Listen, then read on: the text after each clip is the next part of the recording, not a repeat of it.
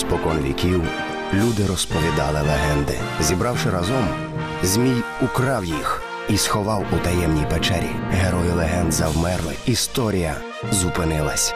Та загадкову печеру знайшов хлопчик зі своїм м'ячем. Їх місія повернути легенди людям.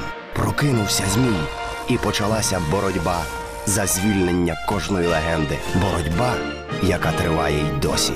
Ми повернемо вам всі легенди України. Привіт!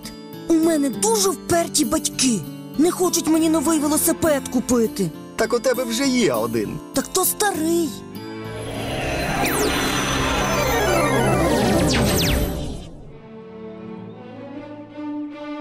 Нова сонячна легенда. Я дуже люблю кримські мандрівки. Можна відпочити. Спочатку легенда, потім відпочинок. Колись на Кримському березі жила сім'я рибака.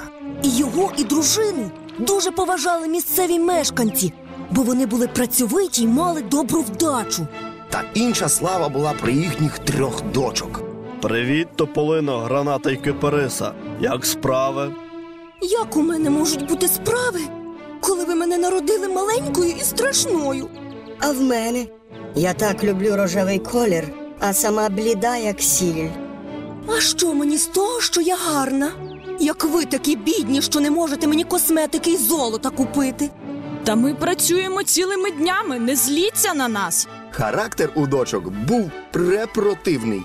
Тополина постійно лазила на дах, піддивлялася, що коїться у сусідів. А потім розносила плітки по селу. А той їй каже, що вона казала, що кума говорила, що кум розказав, що жінка йому шкарпетки погано випрала. Нехлюя, яка ж нехлюя? Дочка граната постійно вдягалася у все рожеве і малювала собі щоки.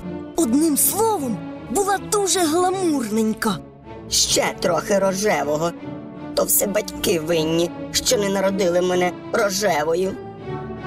А кипариса, хоч наче й добра дитина була, але у всьому підтримувала злих сестер. Одного разу всі три дівчини так обізлилися на своїх батьків, що накинулися на них з кулаками. Чого я не висока? Чого я не гарна?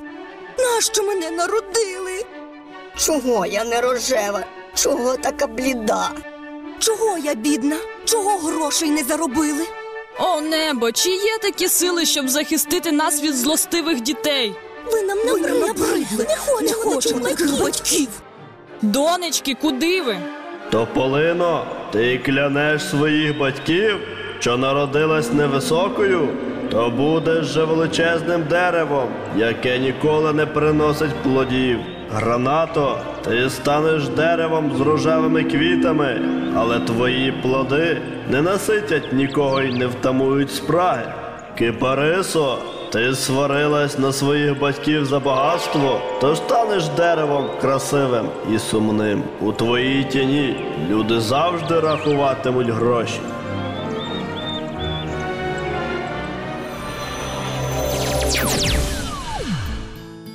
Отак, щоб ті дівки знали, як на батьків нападати. Небо перетворило їх на дерева. Знаєш, Шево, я тут подумав, а навіщо мені той новий велосипед? Батьки й так дбають про мене, вдягають, годують, а я ще й вередую. Молодець! Тебе ця легенда чогось таки навчила. А вас, любі глядачі, бувайте і не сваріться з рідними.